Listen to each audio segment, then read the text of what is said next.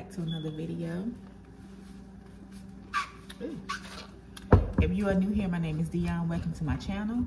And if you are not subscribed to my channel, Dionne's Life, go ahead and hit the subscribe button and hit that notification bell so you can receive alerts for each and every time I upload and become a chat partner. So guys, it is Monday morning. I'm just getting back from the gym. I went to the gym early this morning and I walked a mile. That's all I had in me, to be honest. Just trying to get used to this time change and everything. Plus, I'm not feeling my best today. But anywho, I'm going to keep it pushing and keep it moving. So like I said, I just got back from the gym. So I made me a smoothie. And in my smoothie, I have fruit, collagen, super greens, chia seeds, red maca powder, and turmeric. Mm. This is good. So today's video, guys, is going to be what I eat in a day video. This is going to be a realistic what I eat in a day. Take you all through my day as far as what I'm eating for breakfast, lunch, dinner, snack.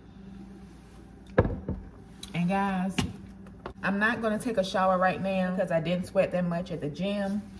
I'll do that a little later. Still real early in the morning, but like I said, I'm hungry, so I decided to make me this big smoothie. So I'm going to drink on this, and then later on, I'm going to eat my breakfast. This is pretty good. Decided to make me a smoothie now before I ate any solid foods or anything so I can get like some proper nutrients and vitamins. And that's where the turmeric comes in, collagen, green superfood, the turmeric, the chia seeds, and the maca powder. That's what it comes in because I can get me some vitamins in before I actually eat me something and take my actual physical vitamin pills.